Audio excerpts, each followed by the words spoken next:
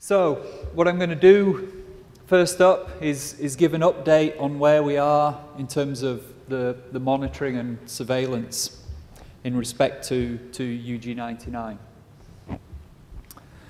First, start off why we're all here. Wheat. Wheat. It's, it's such an important crop. The world's most, most widely grown crop.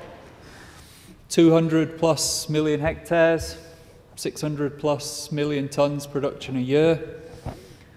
And for consumption, you look at the CWANA region, countries there, wheat's contributing more than 30% of the daily calorie intake. It's, it's, it's just so, so important.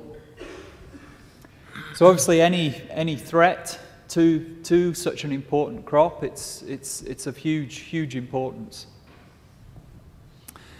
UG99, just, just to refresh you on the story, I mean, you know this already.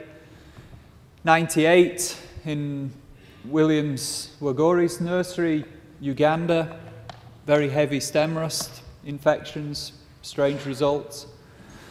1999, confirmation and identification of UG99, loss of key resistance genes like SR31, SR38, and a whole suite of, of other stem rust resistance genes. 2005, Dr. Borlaug convened an expert panel putting out the report sounding the alarm on, on global stem rust mm-hmm. and the subsequent formation of the, the Global Rust Initiative, and which then became the, the Borlaug Global Rust Initiative. 2005, when this, this issue came, came to the world stage, the, the questions were then asked, well, well, what do we know in terms of susceptibility? Where might the pathogen move next? How quickly might it, might it move? And it became very apparent, and it was a, a key recommendation from, from the expert panel, that we, we, we need effective monitoring and surveillance systems in, in place. In terms of what we're seeing, I mean, we're seeing an encouraging trend in, in this all beginning to, to come together in terms of the expansion of, of the surveillance network. You see the red bars there, the number of countries that are contributing information to the system. A couple of countries in 2007, we were now up to last year 20 countries, and the target would be to, to push that forward further, hopefully to, to get it up to something like 30 countries in, in the next couple of, of, of years. You see from the, the, the, maps on the, on the bottom the sort of geographical coverage that we're getting, and we're now beginning to get much, much better knowledge in terms of disease incidence severity um, on the ground across a very, very wide, wide area. Also importantly, we're, we're beginning to get multi-year data from very standardized surveys so that's giving the opportunity to pick up potential changes that are, that are happening out there in, in the field.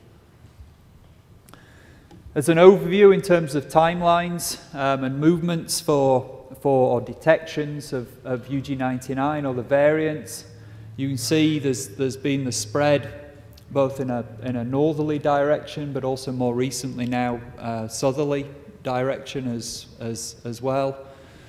So moved as far as Iran, first confirmation there in 2007, then subsequent confirmation 2009, and also 2010, re repeat confirmation of, of UG99 presence.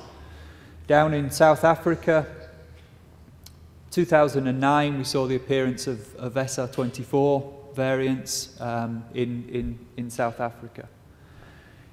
The dotted arrows that you're seeing there, that's, that's some indication from, from, from wind movements in terms of, of possibilities for, for future movements. So certainly dis disease establishment in Iran, you see the potential movement into Central Asia, uh, towards South Asia.